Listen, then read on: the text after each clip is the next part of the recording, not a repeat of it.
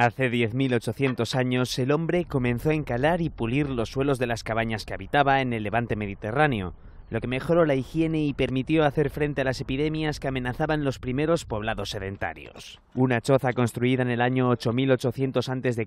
y sacada a la luz en el yacimiento del neolítico precerámico de Karaishin, situado a las afueras del pueblo jordano de Cunella, tiene este tipo de suelo y se ha descubierto gracias a un equipo de arqueólogos españoles que trabaja allí desde hace tres años. Juan José Ibáñez, del Centro de Investigaciones CSIC, destaca la importancia de este avance en la construcción.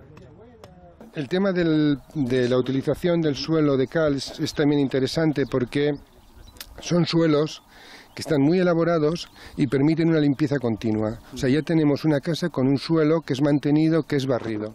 Entonces hay un cambio importante con respecto a la basura. La basura se echa fuera de la casa y la casa se limpia constantemente y se mantiene siempre el mismo suelo.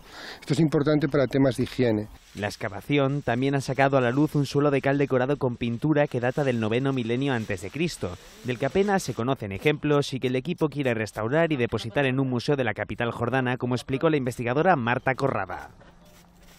Bueno, es, una pieza muy importante y merece la pena que, la gente lo, lo vea, ¿no? Expuesto. Estos yacimientos tienen un gran valor como ventana que permite mirar al pasado de la humanidad, y debido a su extensión se seguirán extrayendo de ellos detalles de la historia durante muchas generaciones.